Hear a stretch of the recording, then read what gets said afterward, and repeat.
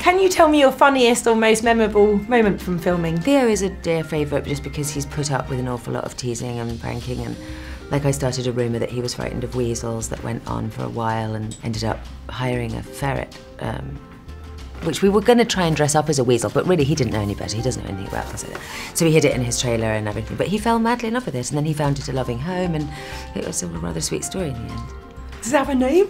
Kate. They called it Kate in the end. And was it quite funny on set because there's so many people? Was there any like pranking or jokes? Constantly, yeah. I think especially on movies like this where everybody's, you know, working really long hours and it's all quite intense and there's lots of fighting and stuff, it's sort of even more important to have as many laughs as possible, and we, we were really lucky with the, with the cast, were really funny. There was a couple of accidental punches. I did get some impressive bruises from Tobias, who, uh, who, who grips you quite hard. You know, when he holds you, he go, but then you do it over and over again. So I had, a, I had his full, his full handprint, I think.